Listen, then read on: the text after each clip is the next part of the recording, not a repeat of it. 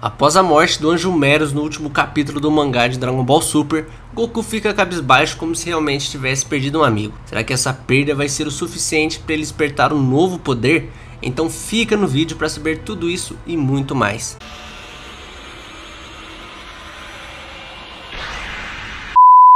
Fala galera, aqui é o Giancarlo e seja bem-vindo ao AnimaZ. No vídeo de hoje vou trazer a minha teoria referente ao mangá de Dragon Ball Super mais especificamente baseada nos últimos acontecimentos aí do mangá, coisa que teve aí a morte do Meros e que deixou um Goku com um semblante bem cabisbaixo, ali com cara de que quer socar o muro e com cara ele tem, quem sabe, de despertar um novo poder. Então vou trazer a minha teoria, eu espero que vocês gostem dela e eu já quero que vocês comentem aí a teoria de vocês nos comentários, é óbvio, do mangá de Dragon Ball Super, se você acha que é possível o Goku despertar uma nova transformação. O Goku já tem várias, porque não despertar outra é bem a cara de Dragon Ball, bem a cara aí do Akira Toriyama. Bom, mas se você é novo por aqui, já se inscreve no canal para você acompanhar mais teorias e mais novidades aí referente ao mangá de Dragon Ball Super. E aí quando voltar a série, eu trazer aqui para vocês. Deixa o like para ajudar na divulgação do vídeo, comenta a sua teoria e me acompanha nas redes sociais, especialmente no Instagram, porque é lá que eu tô trazendo novidades da minha animação do mangá de Dragon Ball Super. Sim, eu estou fazendo a animação do mangá de Dragon Ball Super. Então me acompanha lá para você saber como tá lá o andamento da minha animação. Bom, sem mais enrolação, bora falar então da minha teoria de quem sabe aí de uma nova transformação do Goku. Bom, mas primeiramente vou recapitular o que aconteceu aí no mangá de Dragon Ball Super, que foi o seguinte, meus parceiros o Meros, que é um anjo, treinou o Goku com a intenção de ajudar ele a controlar o instinto superior. Coisa que não aconteceu, ele não conseguiu controlar o instinto superior completo, ele apenas dominou o instinto superior presságio de cabelo preto. Mas isso não foi suficiente para derrotar o Moro, que está em um patamar muito grande também. Tem um grande poder aí, o vilão de Dragon Ball Super. Bom, então Goku não conseguiu atingir o instinto superior completo, o que fez ele e seus amigos, os Guerreiros Z, serem derrotados por Moro. Teve até aquela cena rodando aí do Goku sendo empalado pelo Moro, pelo vilão, pelo peito. Algo bem forte, algo bem insano que aconteceu no mangá que provavelmente vai ser censurado quando sair em anime. Então, Meros, que é um anjo, se sacrificou para poder anular algumas habilidades do Moro. Então, como ele é um anjo, ele não poderia interferir na luta. O anjo tem que ter posição neutra, não dar opinião, não dar ou não usar o seu poder para ajudar os mortais. Coisa então que ele fez e acabou sendo apagado. Logo em seguida, a gente teve a imagem do Goku ali de cabeça para baixo, bem cabisbaixo, como se estivesse em fúria por ter perdido um recente e grande amigo. Imagem bem semelhante que me lembrou quando ele se tornou Super Saiyajin pela primeira vez após a perda do seu melhor amigo, que foi o Kuririn naquele caso. E com isso tudo falado, tudo isso encaixado, Meros então garantiu que era necessário um gatilho para ele despertar um instinto superior completo, como foi até lá no Torneio do Poder, que naquele caso foi a Genki Dama. Mas a pergunta que fica é: como que a ira, como a perda de um amigo, que no caso foi o Meros, pode despertar um instinto superior completo? Porque pelo conceito do que é o instinto superior, que é você esvaziar a mente, você deixar ela totalmente vazia, você ter o controle natural do seu corpo, como o próprio nome do instinto superior fala, você se mover através do instinto, como isso, como a ira, um sentimento totalmente assim, que deixa o seu corpo revoltado, pode ajudar você a despertar um instinto superior completo. Por isso então que através desses sentimentos, algo bem característicos aí do Super Saiyajin, é possível sim o Goku despertar um novo poder. Então eu imaginei isso de três diferentes formas.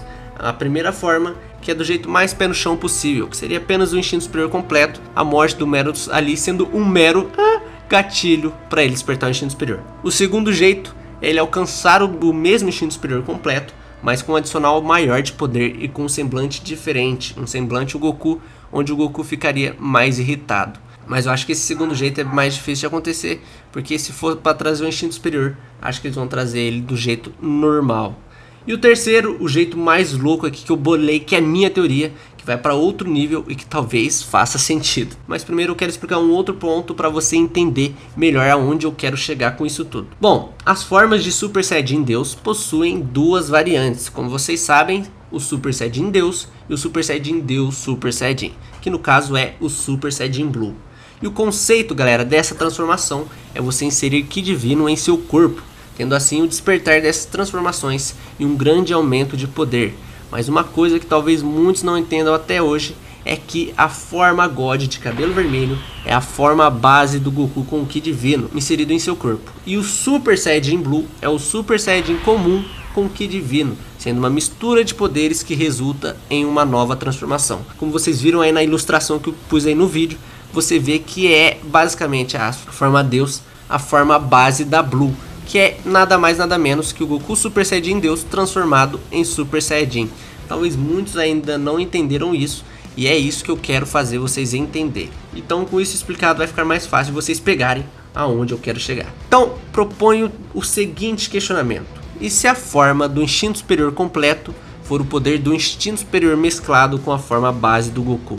Isso é até possível de se ver pelo cabelo que tem a transformação do instinto superior, que é o cabelo base do Goku. Será que então não é possível essa mesma mesclagem que acontece nas formas divinas acontecer com o instinto superior? Mas por que disso acontecer? Pois eu pensei no seguinte: Goku se encontra num momento de fúria. Fúria é essa que foi responsável pela transformação de Super Saiyajin do Goku lá em Namekusei, lá na saga Freeza, que poderia ser o mesmo motivo dele mesclar esses dois poderes, mesmo que de maneira inconsciente, tendo então o Super Saiyajin com o instinto superior ou algo parecido com isso. Então, a transformação que refere à fúria dos dos Saiyajins é a transformação de Super Saiyajin. Então, ele nesse momento de fúria, se ele despertar o Super Saiyajin de maneira inconsciente e misturar esse instinto superior, a gente teria uma nova transformação. E assim, essa questão de misturar poderes já está bem comum em Dragon Ball. Foi inserido mais em Dragon Ball Super, mas a gente está bem familiarizado agora com essa mistura de poderes. Como a gente tem nas transformações divinas e como a gente tem também na mistura do Kaioken com Super Saiyajin Blue, uma mistura bem legal, bem bonita de se ver que a gente teve em Dragon Ball Super. Então, seria sim possível isso acontecer, misturar o instinto superior com a forma de Super Saiyajin por, pelo fato do Goku estar passando por um estado de fúria no momento. Então, ele despertar o Super Saiyajin e misturar inconscientemente com o presságio do instinto superior poderia resultar em uma nova transformação, uma nova mesclagem de poderes sendo a evolução do instinto superior completo, fazendo ele de vez ser um instinto superior, como eu pus aí no título do vídeo, definitivo. Um poder que não teria como você passar disso, é o limite dos Saiyajins, um poder completamente no auge de tudo.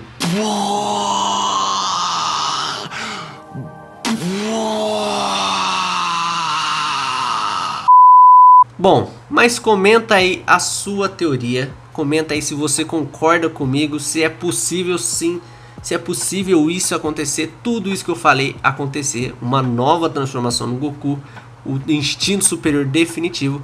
Quero saber a opinião de vocês. Bom, mas é isso, galera. Eu espero que vocês tenham gostado da minha teoria. Talvez eu tenha viajado demais, talvez é, já tá bom de transformação, que seja só instinto superior completo mesmo. Mas comenta aí que eu quero saber a opinião de vocês. E comenta aí também o que você acha que vai acontecer no mangá de Dragon Ball Super. Mas é isso, galera. Se inscreve no canal caso você esteja aqui pela primeira vez. Me siga nas redes sociais, o link está na descrição, junto com o curso de desenho para você que é um completo iniciante aprender a desenhar seus personagens favoritos dos animes. Então é isso, galera. Até a próxima. Nos vemos no próximo vídeo e fui!